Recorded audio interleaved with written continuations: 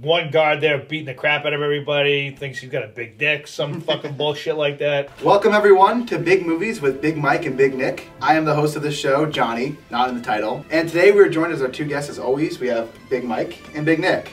So the reason we're doing this series is because you guys have been asking for it. We do our classic or not movie edition on TikTok, and there's some movies that we asked Nick about and he just hasn't seen. So we want to fill him in, see what he thinks of these movies, and see if he, now that he's seen them, can rule them a classic. So our first episode today is probably our most controversial one, the one that has been talked about a lot, and that's Shawshank Redemption. Shy Shine! Shai Shing. So over the weekend we had the opportunity to watch the movie. We each took a, the chance to watch a two and a half hour movie. on Felt like dot. four and a half, I'm not gonna lie. It's, Yeah. a long, it's a long flick. It's a long movie, but we all watched it over the weekend, and now we can talk about it. So Nick, initial reaction. What did you think of Shawshank Redemption? So, you know me, I gotta like lead myself into Of course, this, okay? I can't just give you my straight answer here. Yeah. For the record, not on the record, for the record, I did watch this movie. I watched it with my girlfriend Saturday night. I told her I had to watch this movie. Johnny said I had to watch a movie. She goes, What are you gonna watch this movie for? I go, There's some segment we're doing at work. So we're gonna watch the fucking movie. Watch the movie. I did watch the trailer first because I wanted to get a little understanding of what was going on beforehand. See, I At like it. I, I, I gotta do my homework before I watch a movie. My honest opinion, average at best. Average at Average best. at best. I'm gonna tell you why. Number one, movie was so fucking long. It could be fucking six and a half hours, bro. I can And, and there's not too much action in the movie either. I don't like that though. I don't. I, I'm an action guy. You're an action guy. Yeah, I like. I like You gotta, action. you gotta. You're a go go go. I gotta. I gotta keep going. Like the, the moral of the story was good. That I will give you. The whole thing about trying to get out, blah blah blah, trying to help the prison guards, so on and so forth. The last like ten minutes was good. Like when Morgan Yeah. Freeman got his approval. Spoiler. Yeah, sorry. Sick This shit. is not gonna. Yeah, No, no, no, no, no. We're doing, we're doing a movie review. They're gonna be spoilers. So if you haven't seen Shawshank Redemption, watch it. Spoiler Take alert, there's Two and a half spoilers. hours and come back. and, and, uh, spoiler alerts when he gets approved and then he goes he goes in the halfway house. He's thinking about robbing a bank and because you know obviously when you've been in prison for that long that's what's normal to you. Finds the tree with the rock with the stuff and then finds him at the end. Oh it was so great. That i will give you that was good. But the rest of it was just like you know him in the cell one guard there beating the crap out of everybody thinks he's got a big dick some fucking bullshit like that. It was just slow. It's not that the movie sucked. It's just it's just too slow for me. It's just a lot of You're an action guy. i don't like the action I mean, Mike, you've seen the movie before, so what did you think about Yeah. you Did you notice anything new on the rewatch, or like what are your general thoughts? Um, I hadn't seen it in a really long time, so it was definitely a good rewatch. Mm-hmm. Uh, I personally love the movie. I mean, how can you not love listening to Morgan Freeman's voice too? Andy Dufresne. absolute Mesmerizing. legend, Morgan Freeman. Oh my god, it's unbelievable. What was the scene that stood out most to you? The scene that stands out the most, slash, I mean, it's it's terrible, terrible. The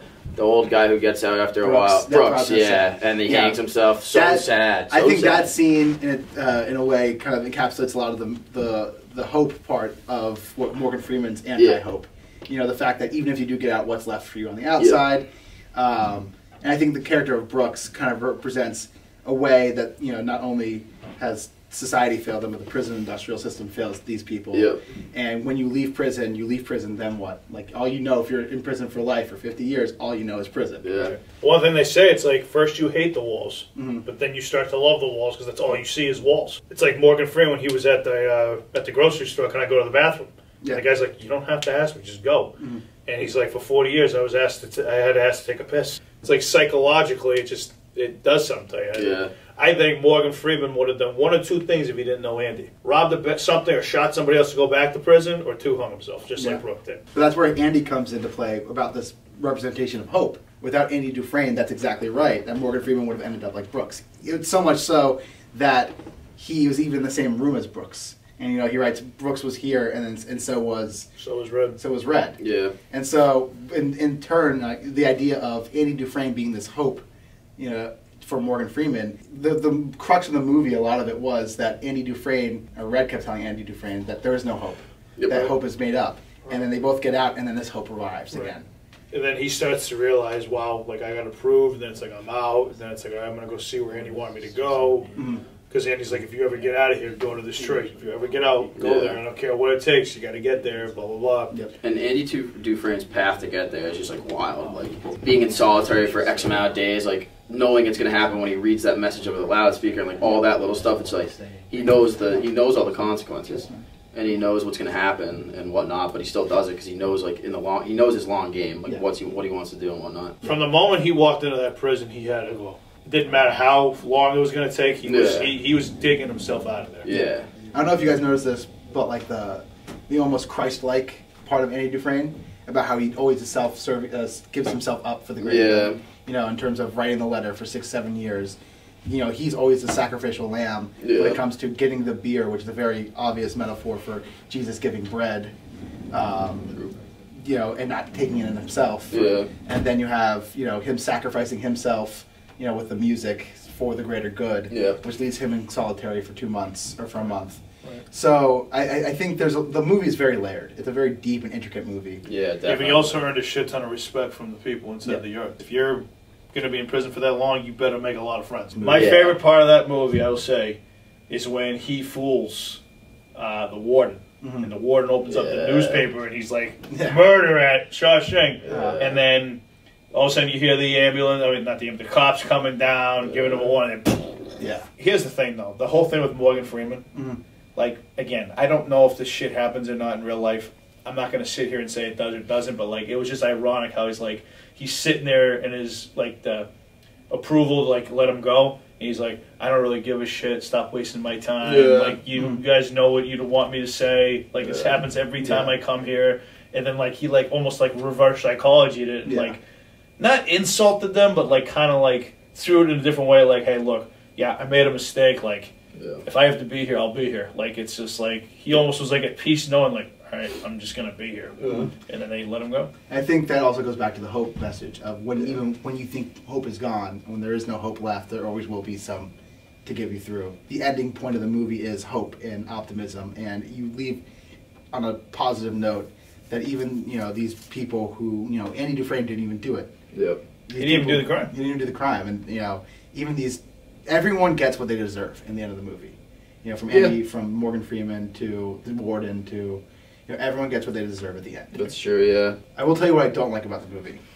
First thing I don't like is the makeup, because all of a sudden the only reason why you know ten years has passed is because they'll mention that ten years has passed. Right. There's no age difference There's no in anybody. age. At their only point, there was like at like three quarters through the movie, they start putting makeup and receding the hairline a little bit. Yeah, a little gray. A little gray, but like you know, they'll be talking like, "Man, it's been 15 years," and Tim Robbins looks exactly the same as he did when he started Yeah. the movie. Right, right.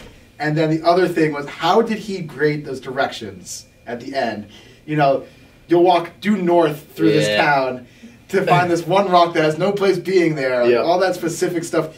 How did Tim Robbins have that idea, or Andy Dufresne have the idea for that before he even entered prison? Right. That takes a lot of planning, and that's the part that pissed me off. Yeah, it's it's it doesn't really make much sense. I mean, the guy's obviously very brainy and like smart, but like that's next level shit. That's like next I don't level. know. Who knows? Who knows? That is forethought. Drags out the rocks in his pants when he's going through. Yeah. I don't Yeah. know. But yeah, it's wild. The only thing I didn't like about the movie, and it's not the movie's fault, is the other two movies that came out that year. Yeah, it was. Uh, Forrest Gump, Pulp Fiction. yeah. That's why it did so bad in the box office. Yeah. But again, not the movie's fault. But we'll, maybe we'll do another one of those movies on a future episode. Ooh. Pulp Fiction. Pulp Fiction, Oh. Pulp Fiction. Pulp Fiction, because you haven't seen that. Well, you are you are gonna hate. You Pulp are- you- Fiction. Actually, you are gonna have no idea what's going on in Pulp. I still have no idea. I just watched it I just like wanted to see eight times. I just want to see the Gimp, his reaction to the Gimp scene. Oh my god. Yeah, you might actually. I I don't know. You might like that movie. You might like it. I think. I think that's You probably. got no idea. Yeah. I'll see if it's on streaming. If it's on streaming, we'll do that next. The thing that you didn't like was the time. Is there anything else you didn't like about the movie? It just was like it was almost like it was the same thing every time. Cell, Mm. yard, cafeteria, cell, yard, Well, but cafeteria. is that kind of maybe they're trying to. Yeah. Maybe they're trying to make you feel like you are in Prison. prison, part of, and like make you feel like how they're feeling. in. Exactly. yeah, it's just I don't know. It's just like I like having multiple, lots of different Yeah. scenes in Yeah. movies. But you if you're like- in a, I agree. movie that takes place in prison, you know, it feel to that point, it almost feels as a successful thing that it made you feel that oh well we're back in the cell, oh we're back in the yard. As, Yeah. as Mike was saying, you know that's what they want. You want to feel like you're stuck because they're stuck. You know, they as you said, you you know only these four walls, and so Yeah. you know as a as a viewer, you want us to be in those four walls as The well. thing that blows my mind, though, Mhm. okay, and I know shit happens, some shady shit happens in prisons in real life. Him building that, right? Mhm. How the fuck did nobody see that he was doing this? Not necessarily because of the noise, but like the guards have to walk around at some point. Like Mhm. he could have been like halfway down that tunnel, and then all of a sudden he's not in the cell.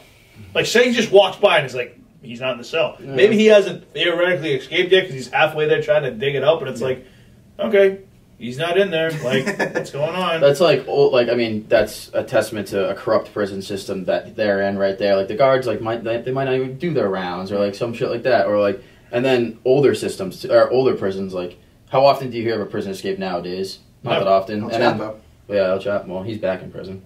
With his, yeah. There could have been some bribery shit going on and, there and too. like you know like prison breaks were I'm not gonna say they were more uh, like more popular, but like they did happen more often back then and less like security. yeah, less security. Like obviously less inf- like easier walls to break through. The guy was breaking with a little hammer. Like Right. who knows? he ain't Could've been breaking through like no that. freaking prisons now. Nah, no shot. No. No I shot. drive by a prison every day to work, and there's barbed wire. There's a police officer right right across the street.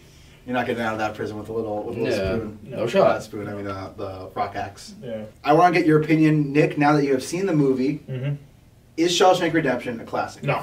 Not a classic. No. Quick answer. No shot. No. I could have told you within 15 minutes that movie wasn't a classic when I watched it.